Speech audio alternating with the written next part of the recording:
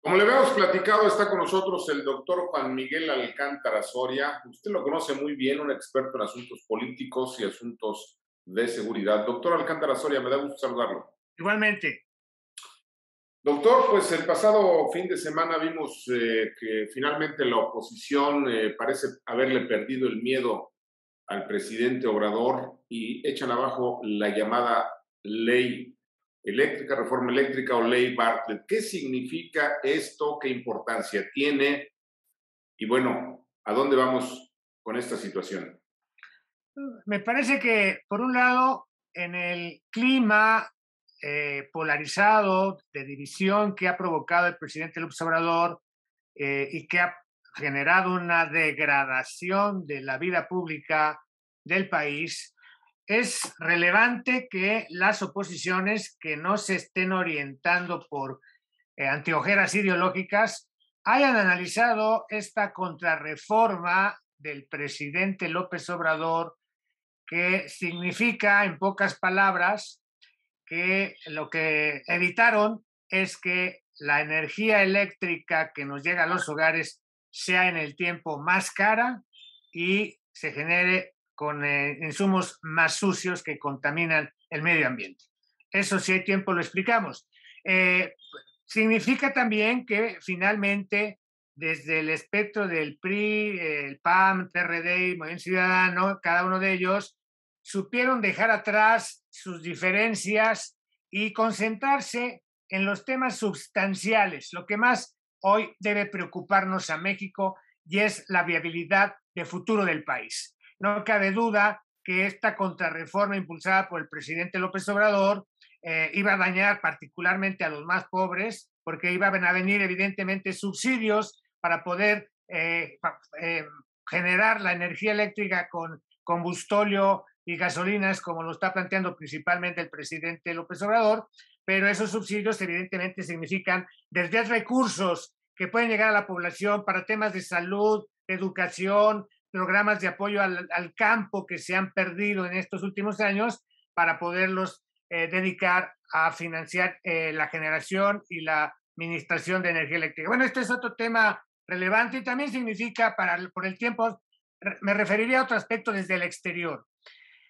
Ya nos había adelantado el gobierno de Estados Unidos que vendrían demandas de miles de millones de dólares de empresas norteamericanas y lo mismo estaban ya pensando empresas asiáticas o europeas si México no consolidaba esta visión de futuro cuidando el medio ambiente en la generación de sus energías. Lógicamente, la señal que manda la oposición al mundo es que en México hay quien se opone a esta visión del pasado del presidente López Obrador y me parece que en ese sentido también hacia afuera dimos una buena señal. A ver, vamos por partes, doctor, si nos permite. Número uno, decía usted, energía más cara y más sucia. ¿A quién se le ocurre hacer algo en estos tiempos que sea más caro y más contaminante? ¿Qué pasa? Platíquele a la audiencia con eh, peras y manzanas. Lo que significa es que el presidente no ha entendido que después de 1960, que con Adolfo López Mateos se nacionalizó la industria eléctrica, el mundo ha cambiado en muchos aspectos, algunas cosas para bien y otras para mal. Entre las cosas positivas es que el mundo ya dejó de estar eh, pensando en generar energías con carbón eh, y con gasolinas, con, con elementos fósiles, como se les llama. Y hay un acuerdo, el Acuerdo de París, que México suscribió, que nos obliga al mundo a que bajemos los niveles de contaminación del planeta para que el mundo sea habitable. ¿Y esto qué significa? Que ya para el año 2024, estamos a dos años, muchos países del mundo han apostado a ya no usar gasolinas, sino a usar energías limpias, que fundamentalmente son las solares, las de captar la radiación del sol. México es uno de los cinco países del mundo que tiene una posición privilegiada para precisamente aprovechar la energía solar. Y eso es lo que estamos viendo desde quienes compramos calentadores eh, solares para nuestras casas, cómo abaratamos el uso y el consumo de energía eléctrica. Bueno, pues esto imaginémoslo a nivel eh, industrial, como lo están haciendo algunas empresas ya en México, que ya no consumen, por lo tanto, energías sucias, y este es el beneficio para la humanidad. Tenemos que estar pensando en el futuro de nuestro país y esto es en lo que no sabe el presidente López Obrador ver hacia adelante. Solo ve por sus hijos, sí, claro, pero no está viendo por los hijos de los demás mexicanos, que ya sería un inhabitable el globo terráqueo si seguimos contaminándolo. Ese es un tema, por un lado, muy relevante, el tema de cuidar el medio ambiente, de cuidar la viabilidad del planeta. Pero por el otro lado está el tema de que si sabemos ya y se está comprobando en México que las empresas que tienen contratos o autorizaciones para generar para sí mismas energía solar o la otra energía también muy útil en México, hay muchos espacios, la eólica, la que viene de los vientos. Bueno, eh, pues eso también hay que aprovecharlo porque es mucho más económica y es, no es contaminante como la del combustorio. Y, y finalmente hay que también decirlo, el presidente canceló eh, exploraciones que había de gas natural que, al, inicio de su sexenio, exploraciones que se iban a hacer en los estados de Coahuila, eh, Nuevo León, Tamaulipas, para explorar gas natural, que también el gas natural, que México tiene muchos yacimientos de gas natural y que también esto se usa mucho para producir energía eléctrica.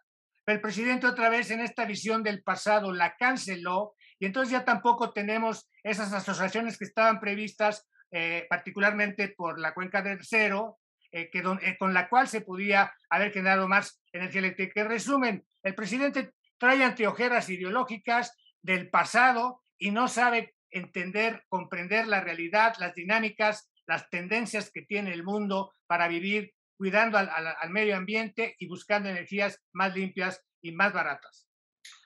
Era además una iniciativa que golpeaba el Tratado de Libre Comercio eh, de América del Norte y tratados eh, comerciales con Europa eh, y con otras partes del mundo. esto se evita, ya no habrá las demandas de las que hacía referencia usted hace un momento.